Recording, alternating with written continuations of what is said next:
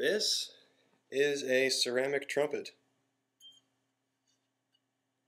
I melted a bar of glass down it, inside of it.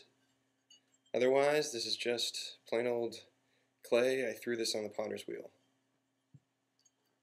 I made the mouthpiece myself, and the bore, the, uh, the, the hole inside, was maintained through using a, some dowels. there are no holes in this horn.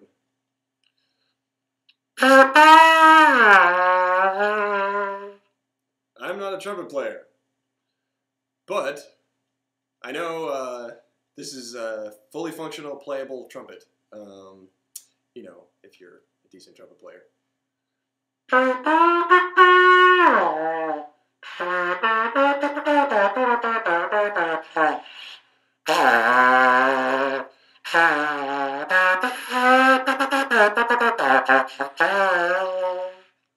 Or Eye of the Tiger.